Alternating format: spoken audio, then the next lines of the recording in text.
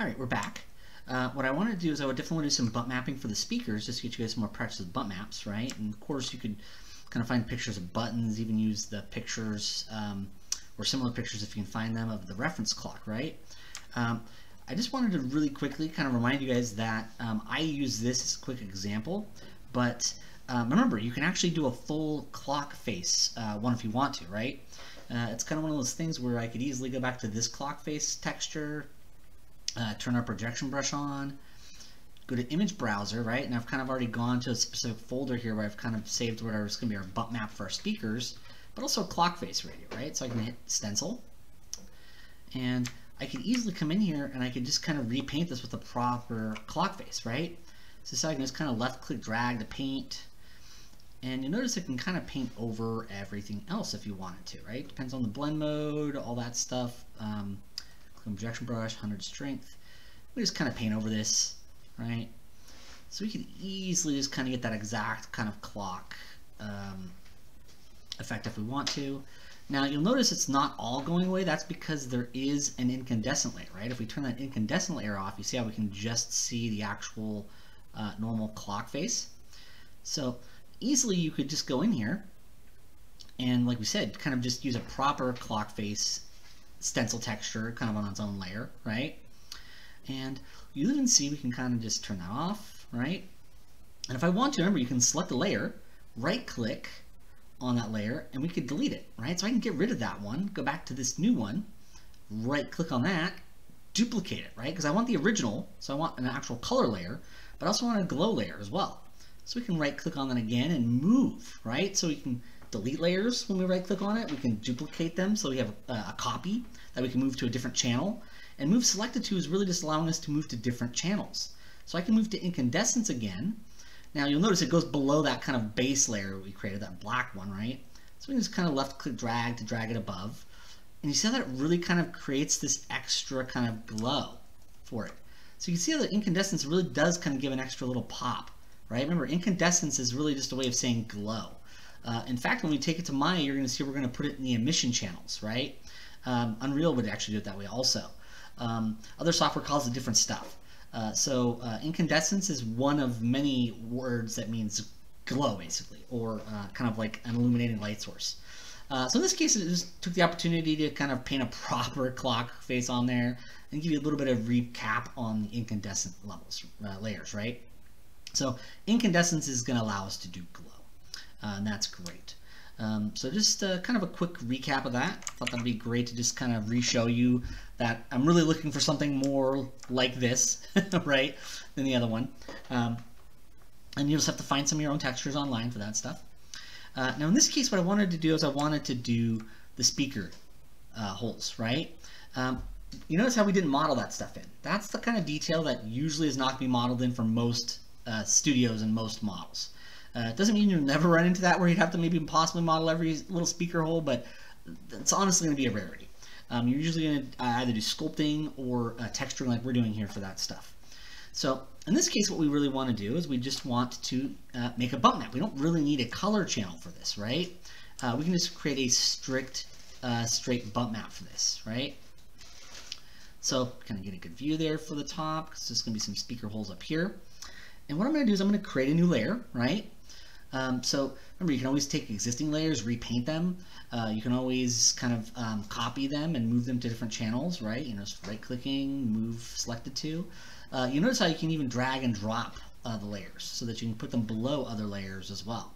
Oftentimes when you move to a different layer, it'll be below the other ones, right? So that's why I kind of had to drag, move it up there so it was on top. But in this case, I'm going to go new layer, right? It's that little kind of uh, three white pages right there and we're going to call this uh, speakers, right? There we go.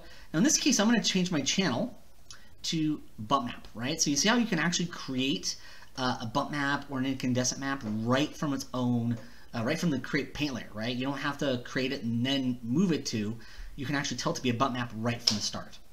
Uh, so we'll hit OK. And then you see there's now a bump map grouping. And you'll notice one of the things about layers here is that as we create more layers and if we put them in diffuse or incandescence, you'll notice that they're kind of their own little groups, right? These three layers are only for the color. These two layers are only for the glow. So now there's a whole new layer for the bump itself. Now, I'm going to make sure to turn my stencil off. Uh, make sure to go back to paintbrush, right? Um, because in this case, I want to use this as just painting the speakers, right? So on paintbrush, I'm going to go to flood paint this, right? Because it's our base layer, right? Your, your layer that's going to be the bottom should always be flood painted, right? That's because um, that's going to provide at least a foundation layer that's uh, filled in all of its pixels, right? All the pixels are filled in for you. Uh, that way when you take it to other software, because this is eventually going to come out of Mudbox and back into Maya, um, it'll not have any empty pixels or partially transparent pixels. Any layers that are above it, those can be partially transparent. They can have empty pixels because we're eventually going to merge these all down to one. And so they'll, uh, all the kind of uh, filled in pixels on the bottom layer will still be there, right? They'll just be all merged down. So in this case, we don't want to set this to be um, uh, necessarily uh, uh, black though, right? Because we kind of want a, a, neutral, if you will, right? Uh, so we'll go to color and we'll kind of pick kind of a mid-gray, right? So something kind of in the middle gray area. Hit done. We'll scroll down to flood paint layer, right? So we're just in paintbrush. Remember, if you scroll down, there's the flood paint layer, and that kind of sets it so that every pixel in this layer is filled in with this mid-gray. Now, in this case, uh, we're probably going to want to pick black, right? So we'll kind of go back to black, um, because that's what we're going to paint with. Um, although remember, this is actually our paintbrush. I want projection brush. We're to use stencil. So I click on projection brush, and we'll make sure to go up to here, kind of that black. And we're going to set a stencil. So I'm going to go back to image browser again. Uh, remember, um, this, uh, this is in the other videos, but if I click on this little opening folder, you can actually go find kind of where your texture folder is at, right? So wherever you've been creating a folder that's got all your textures, you just select it and then you'll see all the other folders that are inside of there. And in this case, uh, I think I've been putting these temporarily in alphas, so I'll just double click on that. And I can click on this one. You see how it's kind of this nice little dotted pattern that fits pretty square? That's going to be something good to find, right? You can look on textures.com. You might do kind of a little bit of a Google search. Remember, with Google search, though, look for copyrights. You want to make sure that there's no watermarks all over it. Um, so we'll hit white S, because that'll set it to stencil right here. I'll go back to 3D view and we see it shows up. Remember, if it doesn't show up, uh, just go back in here, kind of select it again, hit white S, that'll usually make it show up. Um, currently, the stencil properties are up, so just make sure that's on. Uh, the only other things you might want to be aware of is maybe kind of just uh, looking at um, visibility or multipliers stuff. Um, if those are turned down to zero, that might not be showing anything with your stencils. Um, but in this case, projection brush is on. Uh, our stencil's showing up, so I'll just click back on projection brush again uh, because uh, we can set our colors, our transparency.